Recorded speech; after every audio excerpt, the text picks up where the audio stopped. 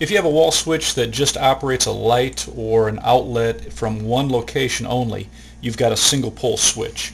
And so we'll go through the steps to replace it. A single pole switch is going to be marked with on and off. And before you work on the switch, make sure you turn off the breaker or remove the fuse that goes to the switch. And a switch is just a break in the hot. So we've got hot coming from the breaker box and going on to the light or outlet or appliance that it operates. In this case, this box has the white wires coming from the light and they're twisted together with a wire nut.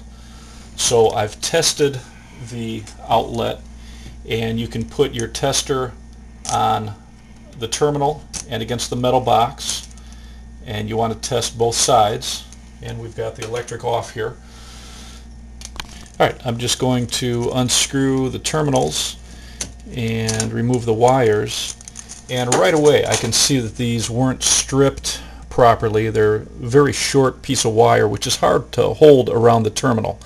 So I'm going to straighten these out and I'll show you how you would correct that.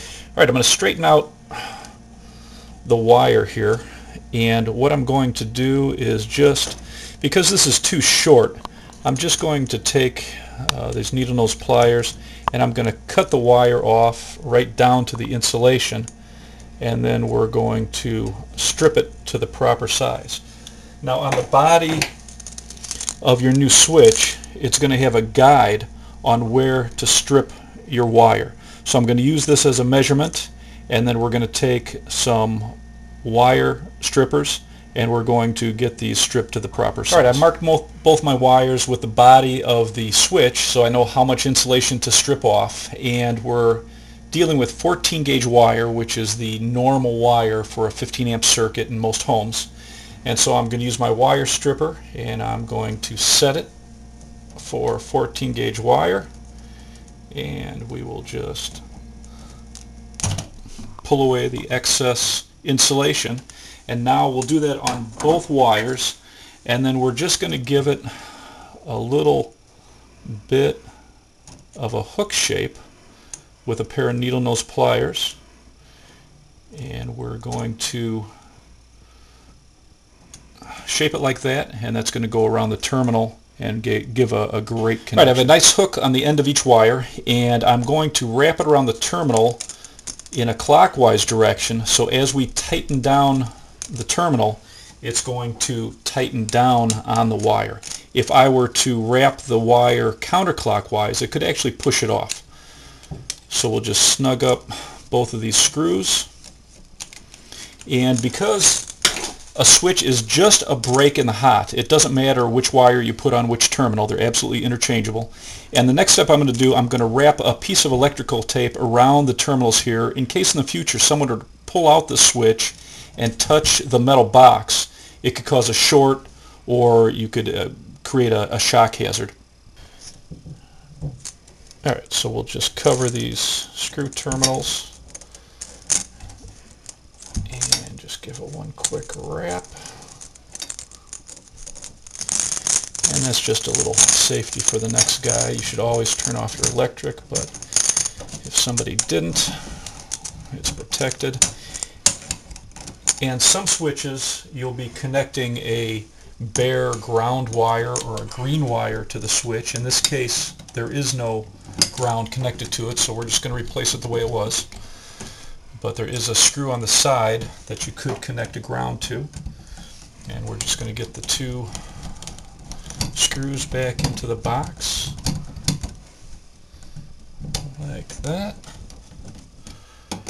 And we will turn the electric back on and check it before I put the cover on. But that's it. It's a pretty simple do-it-yourself project for a single pole switch. Right, I thought I'd open a couple other boxes just to give you an idea what you might run into. Now this is a, again a single pole switch but it's going not only to an overhead light but it's going to two switched outlets and this is a very unusual switch because instead of having a screw terminal that you would wrap a wire around it's actually going under a little bit of a clamp and once you screw down this screw this clamp pushes against the wires. And so you've got two wires that are underneath two sides of the clamp, and then there's a third wire that's going into a push-in terminal on the back of this single pole switch. So you've got your hot coming from the service panel connecting to all three of these and it's being turned on and off by the single pole switch. All right, I opened up another box with a single pole switch and this is very interesting. Again, we have a break in the hot, but this one, the hot comes in from the service panel and we're breaking it off to two wires, one going up to a light and one to an outlet. So half the outlet is operated by this switch. What's interesting though is they did a, a, very poor job of connecting this. They wrapped the two wires together and looped it around the terminal and it's not a very solid connection.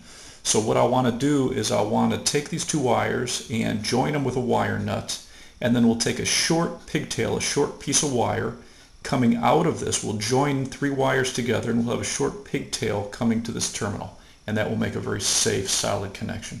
All right, this is an interesting box because you've got a wall switch that operates three different outlets. So you can plug a lamp into it and turn your light on and off as you enter the room.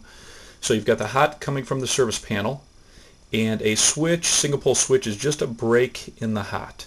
And so we've got three yellow wires that are going on to three separate outlets and then you've got your white, your neutral twisted together here. So this is one example of what you might find when you take a switch out to replace it.